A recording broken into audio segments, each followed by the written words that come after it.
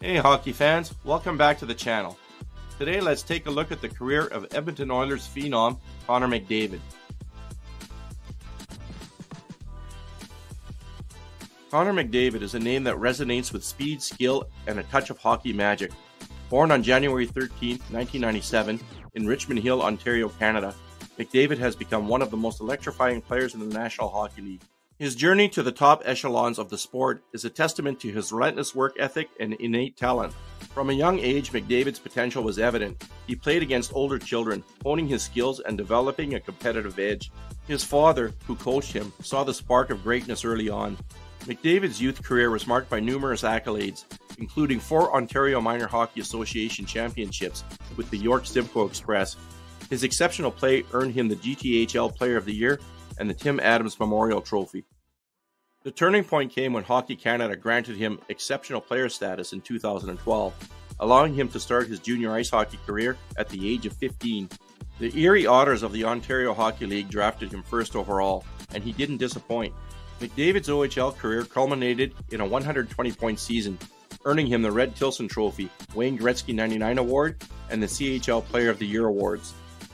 Internationally, McDavid has donned the Canadian jersey with pride, capturing gold at the 2013 International Ice Hockey Federation World Under 18 Championships and the 2015 World Junior Ice Hockey Championships. His leadership and skill on the international stage have only solidified his reputation as a generational talent.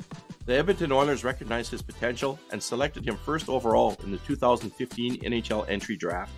Despite an injury shortened rookie season, McDavid's impact was immediate, he was named to the NHL All Rookie team and a Calder Memorial Trophy finalist.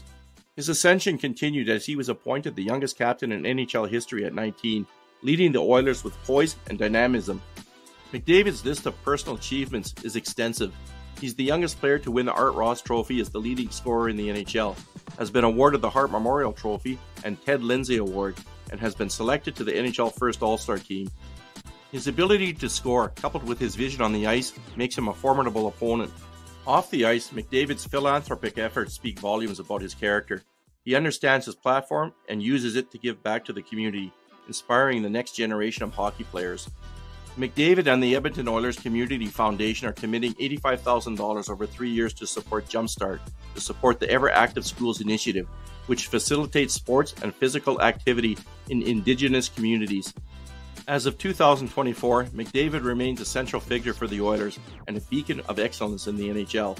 His dedication to the sport and his team is unwavering, and his fans can expect to see much more from this outstanding athlete in the years to come. McDavid is not just a player, he's a phenomenon that has left an indelible mark on the sport of ice hockey. At the time of the making of this video, Connor McDavid and the Edmonton Oilers are battling the Dallas Stars for the chance to compete for the 2024 Stanley Cup and Connor's first appearance in the final.